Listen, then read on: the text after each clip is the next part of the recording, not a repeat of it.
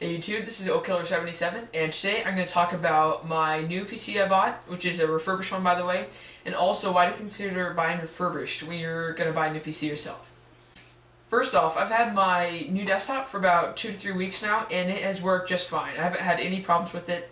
It's worked just the same as a new PC would for me. Um, real quick, the specs on it, it's got a 2.66 gigahertz Core 2 quad uh, from Intel. It's got uh, two 500 gigabyte hard drives, totaling one terabyte. Um, it's got four gigs of DDR2 RAM, and it's got uh, NVIDIA 8600 uh, gra uh, graphics card with a half a gig of DDR3 RAM, and it's running Vista 64-bit. Um, anyways, but uh, why why I'd recommend uh, buying refurbished is I bought many things refurbished, from my laptop to this desktop to keyboards to uh, hard drives. Um, and I've never had a problem with one. And if you do, they've still got the warranties. Um, so in my opinion, buying refurbished is awesome because I get the same product for cheaper or get an upgraded product for the same price.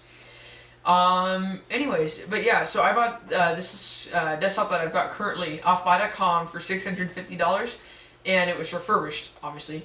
Um, but I, I could have bought the new one for $950 with the same specs or somewhere around there. So it, it saved me a good $300 and, you know, I also got a or you know, I upgraded, so it was faster. Um, yeah, so yeah, this just my advice is that look into refurbished units of what you're gonna buy, and if they've got one that would, is in your price range, give it a shot. I haven't had a problem with one, and I've saved a bunch of money doing it that way.